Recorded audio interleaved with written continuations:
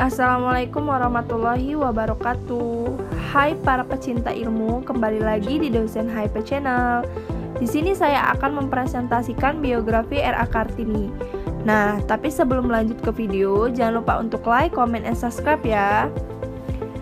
Tentu masyarakat Indonesia sudah kenal dengan potongan lagu yang berbunyi Wahai Ibu kita Kartini Putri yang mulia, sungguh besar cita-citanya bagi Indonesia.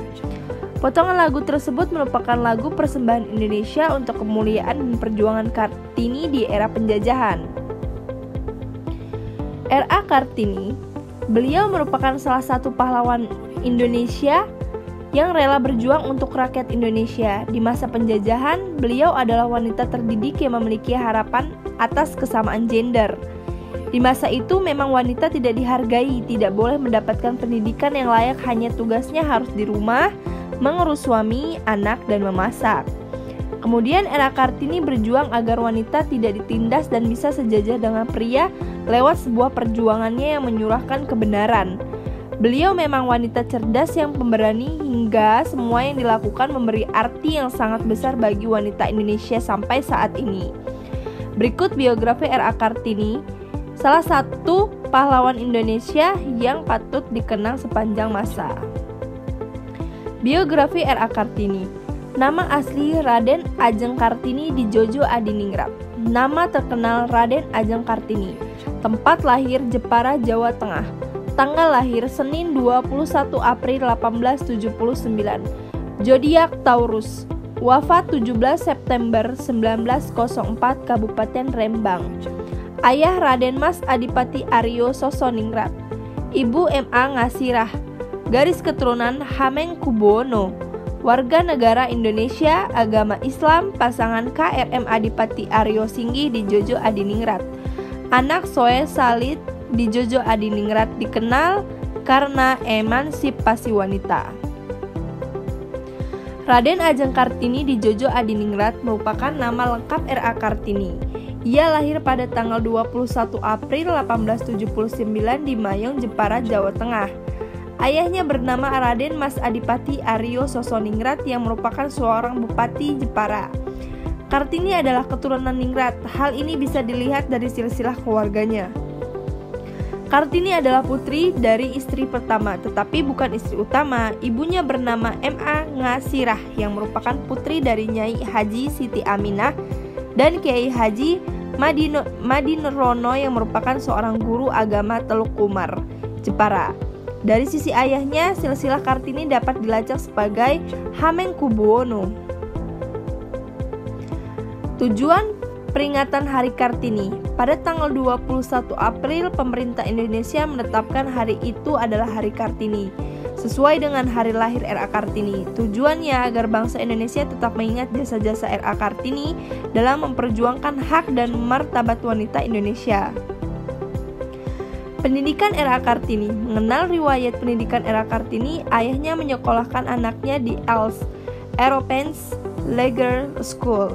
Di sinilah ia kemudian belajar bahasa Belanda dan juga bersekolah di sana hingga berusia 12 tahun. Sebab saat itu, ia menurut kebiasaan ketika itu, anak perempuan harus ditinggal di rumah untuk dipingit. Pemikiran-pemikiran era Kartini tentang emansipasi wanita meskipun berada di rumah RA Kartini aktif dalam melakukan korespondensi atau surat menyurat dengan temannya yang berada di Belanda. Sebab RA Kartini juga fasih dalam berbahasa Belanda. Dari sinilah kemudian Kartini mulai tertarik dengan pola pikir perempuan Eropa yang ia baca dari surat kabar, majalah, buku-buku, dan yang ia baca. Hingga kemudian ia mulai berpikir untuk berusaha memajukan perempuan pribumi. Dalam pemikirannya, kedudukan wanita pribumi masih tertinggal jauh atau mempunyai status sosial yang cukup rendah kala itu. Sudah banyak yang mengupas mengenai pahlawan wanita berpengaruh di Indonesia, bahkan di dunia yang satu ini. Ibu kita Kartini memang menjadi salah satu tokoh pahlawan wanita yang fenomenal di tanah Jawa, tepatnya berasal dari Jawa Tengah. Banyak penulisan menaturkan biografi era Kartini yang menceritakan penjajah perjalanan hidupnya yang meng menginspirasi. Seperti halnya yang dilakukan oleh Siti Mondari Soerato dalam bukunya yang berjudul Kartini, sebuah biografi dalam buku ini diterangkan tentang silsilah keluarga Kartini.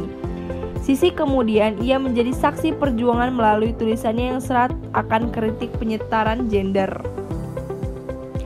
Nasionalisme yang menggugah sampai di negeri Belanda. Kumpulan tulisan kepada sahabat-sahabat penanya di Belanda atau surat-surat yang pernah ia buat dirangkum Armit Spane dalam sebuah buku yang berjudul Habis Gelap Terbitlah Terang yang juga menjadi salah satu tema yang pernah ia tulis.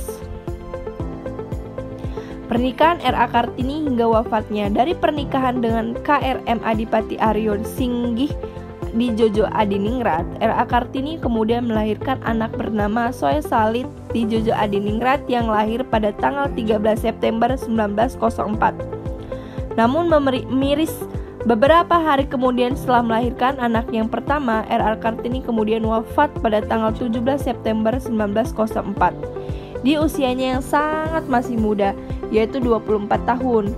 Beliau kemudian dikebumikan di Desa Bulu, Kabupaten Rembang. Berkat perjuangannya, kemudian pada tahun 1912, berdirilah sekolah wanita oleh Yayasan Kartini di Semarang kemudian meluas ke Surabaya, Yogyakarta, Malang, Madiun, Cirebon, serta daerah lainnya.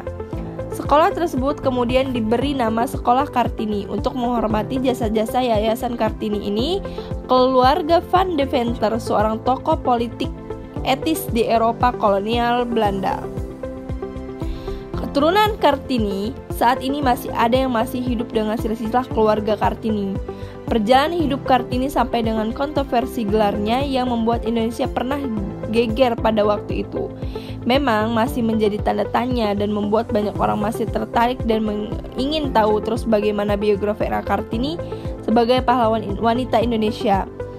Karena itu film-film Kartini sampai saat ini masih memiliki cerita-cerita baru dari dan babak profil dan biografi Kartini. Baiklah, sekian presentasi dari saya. Terima kasih. Wassalamualaikum warahmatullahi wabarakatuh.